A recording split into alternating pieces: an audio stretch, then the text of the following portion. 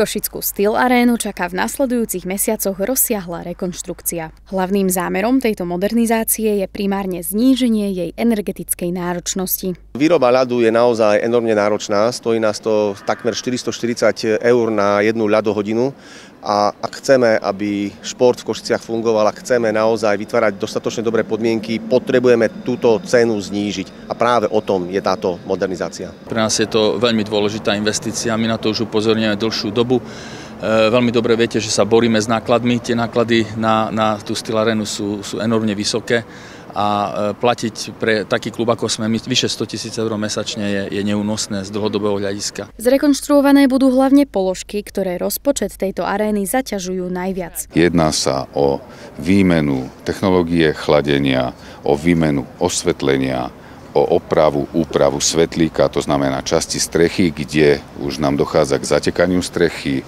a opravu, úpravu zázemia. Súčasťou tejto obnovy bude okrem iného aj zúženie chladenia ľadovej plochy. Objem rekonštrukcie je vyčíslený na 5,7 milióna eur bez DPH. Tých 5,7 milióna máme potvrdených 5 miliónov čerpanie z Fondu na podporu športu, lebo bez tejto štátnej pomoci by sme si to momentálne pri týchto ekonomických e, podmienkach nevedeli dovoliť.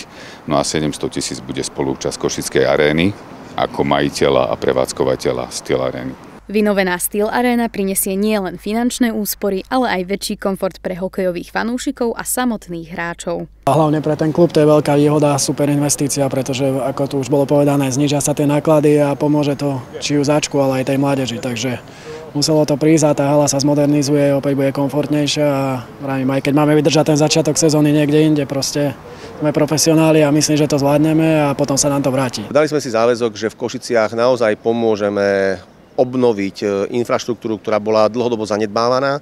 Práve preto máme futbalovú arénu, teraz otvoríme Národné tenisové centrum, zmodernizovali sme Angels arénu, rekonštruujeme plaváreň a táto Steel Arena v rámci národnej infraštruktúry patrí práve do tohto košiara a práve tým chceme deklarovať a splniť svoj záväzok, ktorý sme Košičanom dali. Modernizácia Steel Arény by mala podľa plánov prebiehať do 15. októbra. Alica Matisová, Telke.